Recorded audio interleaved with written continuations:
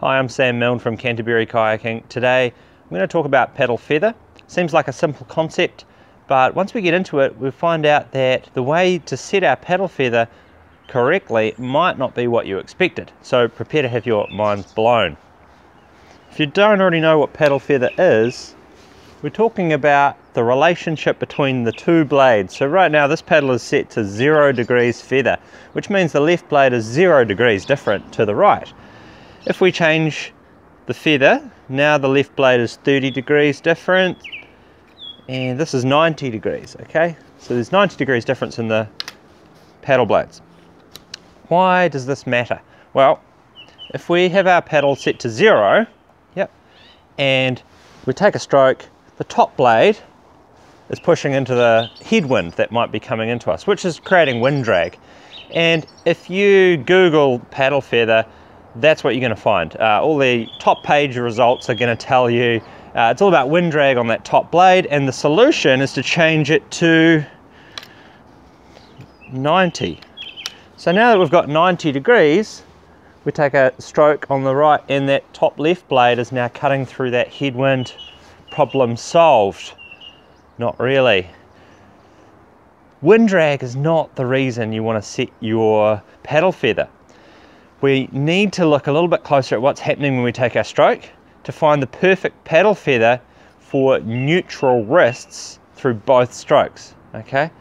So what we want to achieve really for maximum performance, um, particularly on the river um, or surf ski, is we want our top hand, top wrist to remain straight while it's pushing through the stroke, okay, on both sides. Now, if we set it up to 90, okay the right blade's always square but then as I move the paddle across to take that stroke uh, on the left keeping my wrist relatively straight you can see that that blade is uh, still not right. And so on these beginner kayak courses that happen all over the world they tell people when they first pick up the paddle and they go oh the blades aren't the same. The answer is to do this with your wrist okay now, that leads to people getting sore wrists or inefficient strokes. So the solution, and a lot of people have figured this out kind of already without knowing it, that somewhere in between 0 and 90 works. So you might use 30, 45, 55, 70 degrees, depending on what? Depending on how far across you take your right hand in your forward stroke. So the reason the left blade twists when we take our stroke shouldn't be because we're doing this. It should be relative to the position of your top hand as you take the stroke. So as you move your right hand across your body or across your kayak, what happens is you get a natural twist in that blade. So keeping my right wrist straight, as I move my right hand across and up, then that changes the angle of that left blade. So the higher you take your top hand across the kayak, the more offset you're gonna need to square it up on that left side. So if you've got an adjustable paddle, that's really handy. All you're gonna need to do is open up your adjuster, sit in your kayak in the water preferably, and pretend you're taking a left stroke, okay? Get your hands about where they normally go. You might need to test this a few times to find out where you normally paddle. And then with your left blade square in the water, we're gonna grip the right hand and square your wrist up so it's straight, okay? So we want a square blade on the left and a straight wrist up top. Clamp that down. And then if your adjuster has dials on it, you'll find that I chose 65 for what I demonstrated there, but it might be different when I hop in my kayak. Um, but that, that, that is about what I normally use.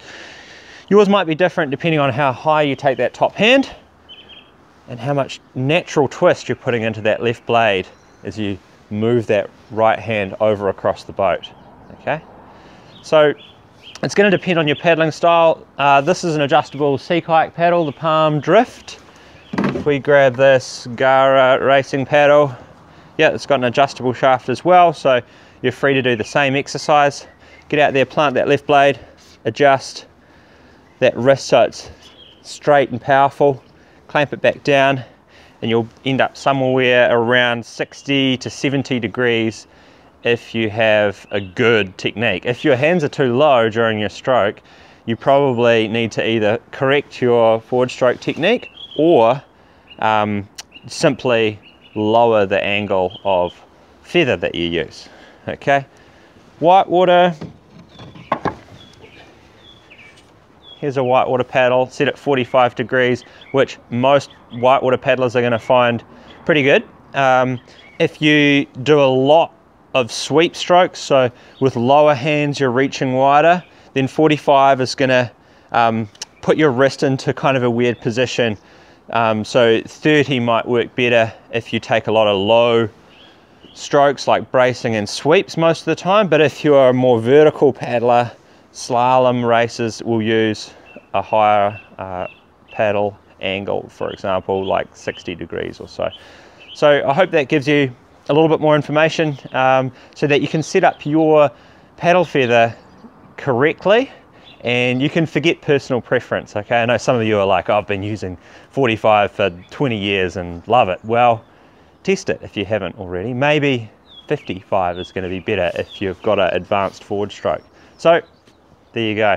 Uh, comment below with your thoughts. Maybe tell me your uh, your preference on paddle feather and uh, and tell me what happens when you go and test that uh, for real. If you'd like help uh, setting up your own uh, paddle feather, then come along to one of our forward stroke technique lessons, which run all through summer.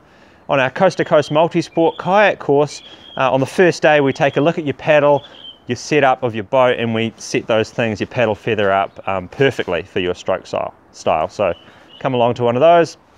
Thanks very much.